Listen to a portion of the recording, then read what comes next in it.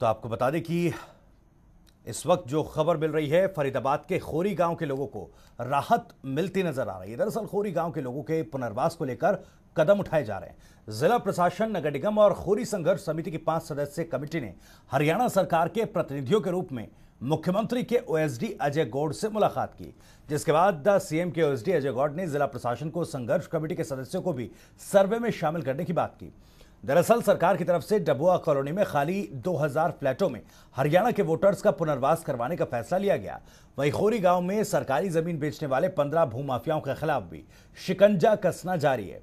थाना सूरजकुंड में भूमाफियाओं की धोखाधड़ी से पीड़ित लोगों ने शिकायत दी थी, जिसमें पंद्रह भूमाफियाओं के नाम शामिल हैं। इसी पर पुलिस ने चार और मामले दर्ज कर लिए हैं। अब तक मामले में 25 एफआईआर दर्ज हो चुकी हैं।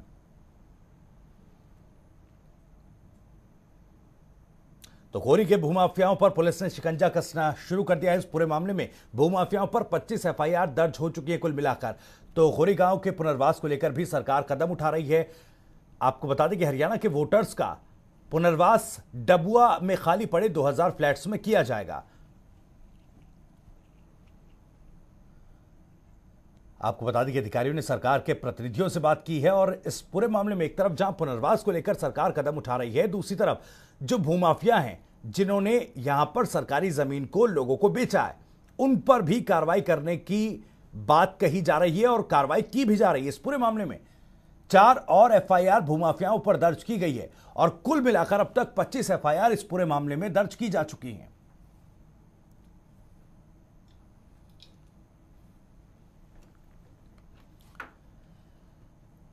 तो होरी गाँव के लोगों का जल्द पुनर्वास होगा। डबुआ गाँव में खाली पड़े 2000 फ्लैट्स में इन लोगों को पुनर्स्थापित किया जाएगा।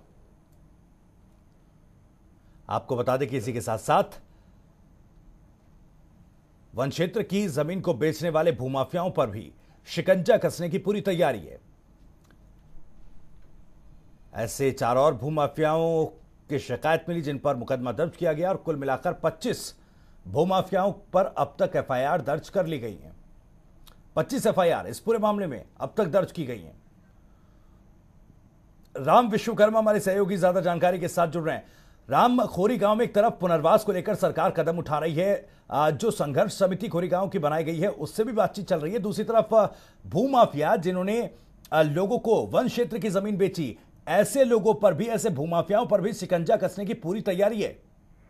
बिल्कुल भविष्य यहाँ पर आपको जो ताज़ा जानकारी है इस सिलसिले में आपको बताना चाहेंगे कि यहाँ पर जो डाबुआ कॉलोनी है उसमें जो हरियाणा के ऐसे लोग जो हरियाणा के वोट वोट कास्टर्स हैं यानी कि जिनका मत जो है हरियाणा में बना हुआ है जो हरियाणा में जो वोट कास्ट करते हैं अपना ऐसे लोगों को जो है 2000 फ्लैटों की उनके लिए व्यवस्था यहाँ पर फौरी तौर पर की जा रही है। तो इसके लिए जो सर्वे है वो जो है यहाँ पर करवाया जा रहा है। दूसरी बात यहाँ पर ये कि एक जो है मामला यहाँ पर दर्ज किया गया है जो बिल्कुल यहाँ पर दर्शकों को हम बताना चाहेंगे। तकरीबन जो है पंद्रह ऐसे भूमाफियाओं को जो है चिन्हित किया गया है जिनके खिलाफ जो है चार मुकदमे जो है और आज दर्ज कर लिए गए हैं। और ये मामला जिस तरीके से उठा था बेहद ही जो है चौंकाने वाला मामला था कि वन भूमि क्षेत्र जो था ये खोरी इलाके में जो वन भूमि क्षेत्र था यहाँ पर जो है उसको एक्वायर किया गया और करीब तीन दशक पहले उसको उस तरीके से एक्वायर करना शुरू किया गया। जहाँ पर हज़ारों परिवार आकर के बसे हज़ारों की संख्या में जो है वहाँ पर आवासीय जो प्लॉट्स थे वो, उनकी कटिंग की गई और ये तमाम सिलसिला जो है पिछले तीन दशकों से चलता रहा। प्रशासन के अधिकारी जो थे उनकी नाक के तले ये सब चीज़ें होती रही लेकिन इसके बावजूद जो है कोई जो कदम उठाने चाहिए थे उसको रोकना चाहिए था समय रहते वो सब चीज़ें नहीं की गई। हालाँकि देर से ही सही लेकिन इसके ऊपर जो है संज्ञान लिया गया और फिर सुप्रीम कोर्ट का आदेश आया कि इसको जो है खाली कराया जाए। तो ऐसी स्थितियाँ यहाँ पर बनती दिखाई दे रही जो कहीं ना कहीं अपने आप में दर्शाती हैं कि जो एक ढीला वाली जो होती है प्रशासनिक स्तर पर वो जो है जो है जब जब अपने शबाब पर होती है तो किस तरह से जो है गलत चीज़ें परपती हैं। जी बिल्कुल बहुत बहुत शुक्रिया राम आपका इस तमाम जानकारी और बातचीत के लिए। हमारे साथ हमारी संवाददाता पूजा शर्मा भी फरीदाबाद से इस वक्त जुड़ गई हैं। पूजा जिस तरह से पूरे मा, पूरा मामला ये चल रहा है कन्फ्लिक्ट भी बीते दिनों हमने देखा इसमें पुलिस और गांववासी आमने सामने आ गए थे। अब पुनर्वास को लेकर सरकार कदम उठा रही है साथ ही साथ वो भूमाफिया जिन्होंने सरकारी ज़मीन की खरीद फरोख्त की और लोगों को बेवकूफ़ बनाया। ऐसे लोगों पर, ऐसे भूमाफियाओं पर शिकंजा कसने की पूरी तैयारी है। पच्चीस एफ़ दर्ज हो चुकी है। आपके पास क्या कुछ अपडेट? बिल्कुल भविष्य देखिए जब से सुप्रीम कोर्ट के ऑर्डर आए हैं खोरी की वन ज़मीन को खाली करवाने के लिए तो हम लगातार ये मामला उठा रहे हैं कि आखिर जो भू माफिया जिन्होंने इस एक लाख की आबादी को बसाया अवैध रूप से आखिर उन पर कार्रवाई क्यों नहीं की जा रही है? और हमारे ये प्रयास भविष्य सफल भी हुए और प्रशासन को आखिर सरकार के दबाव में संज्ञान लेना ही पड़ा। अब तक 25 मुकदमे भू माफियाओं पर दर्ज हो चुके हैं। और बाकी जो भू माफिया हैं, उनकी भी शिनाख्त करने की, उनकी पहचान करने की, साथ ही साथ, और कौन ऐसे लोग हैं जो एक मीडिएटर का काम करते हैं उन भू माफियाओं तक, इन गरीब लोगों को पहुँचाने का? तो ऐसे जो मीडिएटरशिप करने वाले लोग हैं, उनकी भी पहचान की जा रही है, क्योंकि वे ना, न केवल खोरी में, बल्कि आसपास के क्षेत्र में भी इस तरह से अवैध रूप से लोगों को बसाते हैं। तो प्रशासन जो है, लगातार कोशिश कर रहा है कि जो लोग अ, भू माफिया हैं उन पर ज़्यादा से ज़्यादा शिकंजा कसा जाए। अभी मात्र पच्चीस मुकदमे जो है इस मामले में दर्ज हुए हैं लेकिन आने वाले समय में और भी मुकदमे दर्ज कर सकते हैं। लेकिन एक बड़ा सवाल यह है कि आखिर इन लोगों की गिरफ्तारी कब होगी? क्योंकि मामले लगातार दर्ज किए जा रहे हैं लेकिन आज भी ये भू माफिया खुलेआम घूम रहे हैं। और भविष्य में एक चीज़ और बताना चाहूँगी इसमें पुलिस की एक लापरवाही। इसको कह सकते हैं कि कुछ लोग ऐसे भी पाए गए हैं जो मृत हैं और उनके खिलाफ एफआईआर दर्ज कर दी गई। यानी कि जब दबाव सरकार का पड़ा है तो लगातार पुलिस जो है भू माफियाओं के खिलाफ मामले तो दर्ज कर रही है। लेकिन वो भू माफिया ज़िंदा है या नहीं उनकी शिनाख्त नहीं की जा रही है। इसको ऐसे माना जाए कि महज अब जब सरकार का दबाव पड़ रहा है तो पुलिस भी इस पूरे मामले में लिपापोती करती नज़र आ रही है। और सवाल यह भी उठ रहा है कि आखिर जब ऐसे भूमाफियाओं पर कार्रवाई पुलिस कर रही है। तो उनकी गिरफ्तारी कब होगी जैसा आपने कहा? साथ ही साथ, क्या उन लोगों पर भी कार्रवाई होगी? क्या उन लोगों के खिलाफ भी एफआईआर दर्ज होगी जिनका संरक्षण इन भूमाफियाओं को मिला हुआ था? बिल्कुल, भविष्य देखिए हम पुलिस की इसमें बात कर रहे हैं तो एक मैं महत्वपूर्ण बात आपसे साझा करना चाहूँगी कि जो स्थानीय पुलिस, सूरजकुंड थाना पुलिस यहाँ पर लगती है और वहाँ पर खुफिया विभाग के कर्मचारी भी जो सीधा सीपी को रिपोर्ट करते हैं, वे यहाँ पर तैनात रहते हैं। बहुत लंबे समय से यहाँ पर तैनाती है, लेकिन उसके बावजूद स्थानीय पुलिस सब कुछ जानते हुए भी मौन रही तो कहीं ना कहीं एक बड़ा संरक्षण स्थानीय पुलिस की तरफ़ से भी नज़र आता है खोरी गाँव को बसाने में। इसके अलावा भू माफियाओं को लेकर भी लगातार शिकायतें मिलती रही।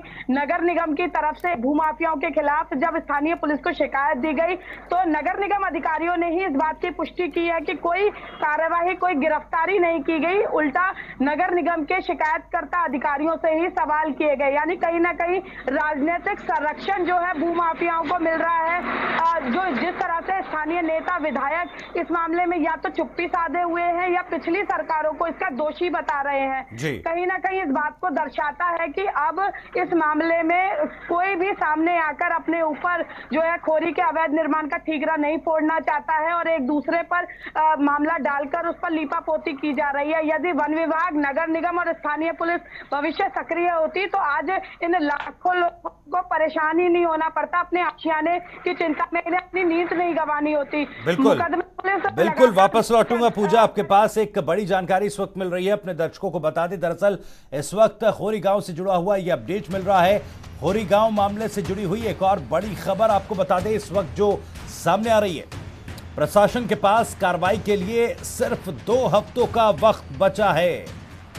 सुप्रीम कोर्ट के दिए चार हफ़्ते का वक्त पूरा हो चुका है। कुल मिलाकर छह हफ्तों का वक्त सुप्रीम कोर्ट ने दिया था, जिनमें से चार हफ्तों का वक्त पूरा हो चुका है और महज दो हफ्तों का वक्त अभी बचा है।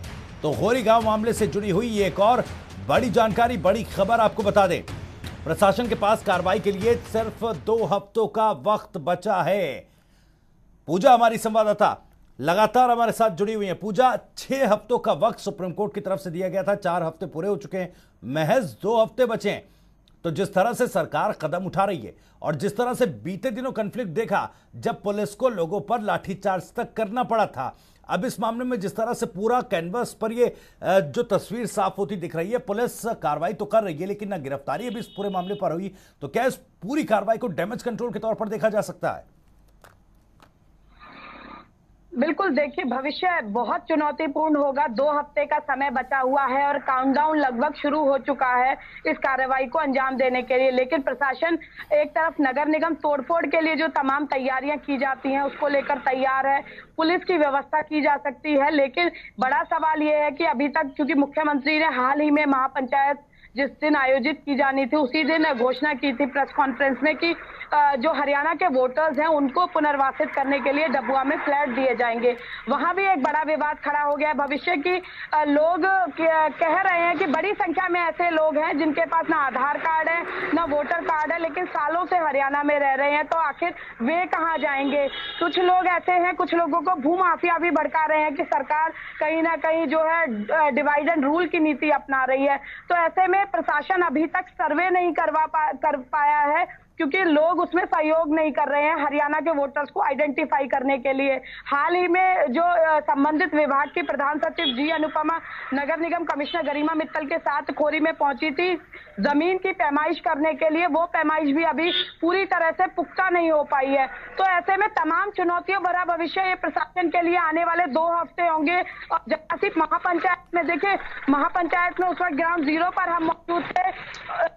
बहुत ही ना पर जो खोरी की पॉपुलेशन है उस पंचायत में पहुँची थी लेकिन उसके बावजूद जो हुआ दर्शकों ने वहाँ से लाइव देखा कि किस तरह लाठी पुलिस को बैरंग लौटना पड़ा। तो ऐसे में यदि प्रशासन के लिए ये भी बड़ा चिंतापूर्ण है कि अगर एक लाख की पूजा सवाल ये उठा है जैसा आपने जानकारी दी क्योंकि सहयोग नहीं मिल पा रहा है और हरियाणा के वोटर्स को आइडेंटिफाई करना इतनी बड़ी आबादी में से उसके बाद जो सर्वे होना है सर्वे का काम भी अभी बाकी है और उसके बाद पुनर्स्थापना इन लोगों की कैसे हो पाएगी दो हफ्तों के भीतर?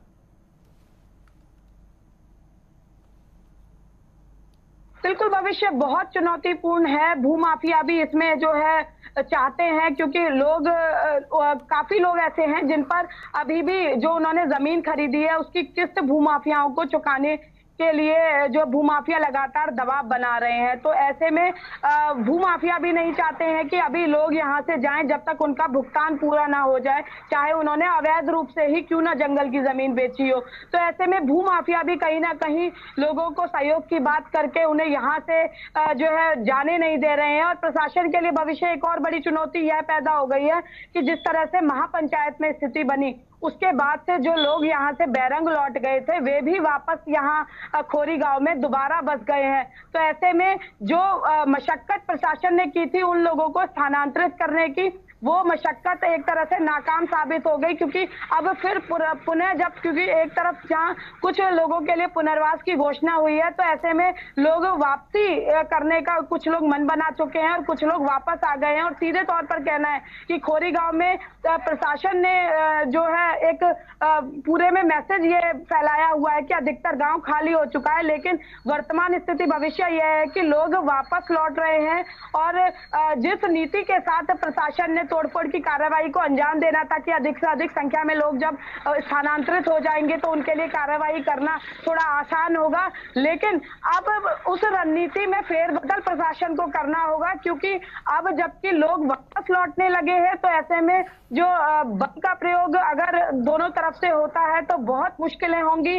साथ ही अतिरिक्त पुलिस बल की ज़रूरत होगी। हालाँकि दिल्ली पुलिस से संपर्क साधा हुआ है।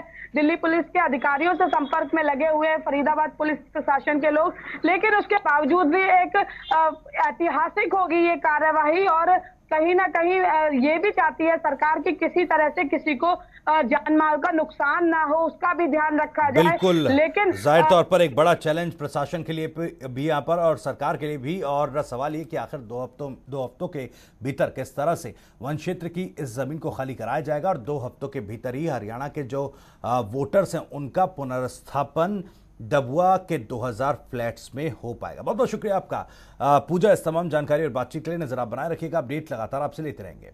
उधर